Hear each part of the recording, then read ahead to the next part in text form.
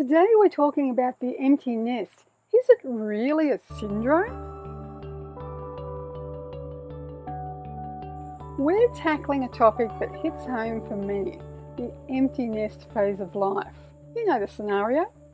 The house, once bustling with laughter, school runs, and ceaseless parenting duties, now echoes with silence.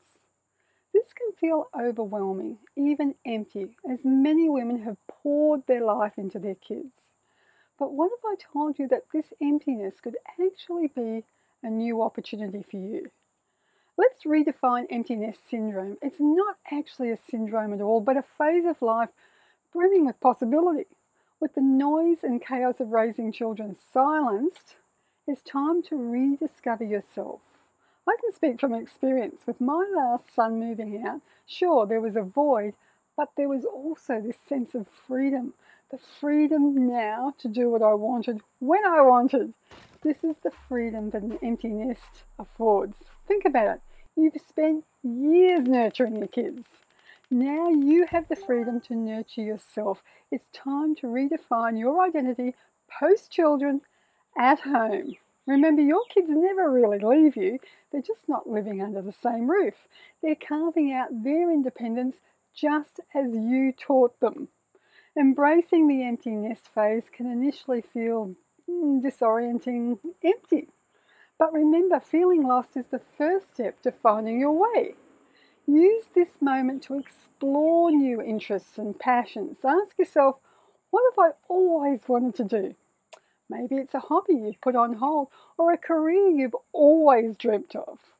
With an empty nest, now is your chance. So, how do you go about finding your purpose in the empty nest? Well, here are some tips. First of all, we have a purpose pathway that will help you find that if you click below. Use self reflection. Use this quiet time to dig deep into your core, connect with your inner self. What are the values that you hold dear? What activities bring you genuine joy and fulfillment? Reflecting on these questions can guide your next steps. Experiment. Ever wanted to learn to paint, join a book club, or start a fitness routine? Now's your chance. Try new things and push your boundaries a little. Your mental health is important. It's time to grieve the end of a significant phase of your life, but it's equally important to focus on your mental wellness during this time. So try meditation, yoga, visualization exercises and connect. Sharing your experiences with others going through the same phase can be comforting.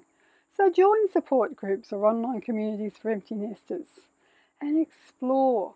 With more time and space in your life, you have a wonderful opportunity to rediscover yourself.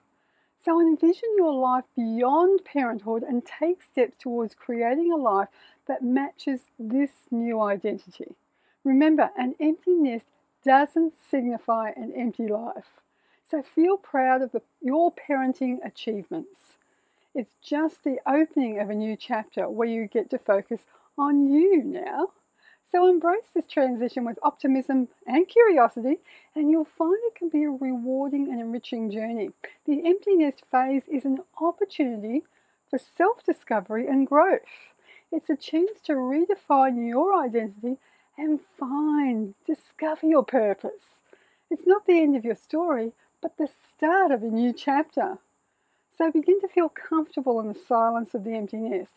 It's not a sign of emptiness, but a symbol of opportunity.